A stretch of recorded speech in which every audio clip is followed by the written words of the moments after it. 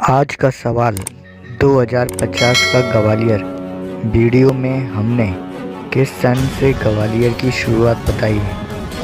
ए 1910 B 1947 सी 1980 और D 1990 जल्दी जवाब दें। और यदि आपने अभी तक चैनल को सब्सक्राइब नहीं किया है तो चैनल को सब्सक्राइब करें और सही जवाब दें। तभी आप विजेता भी माने जाएँगे।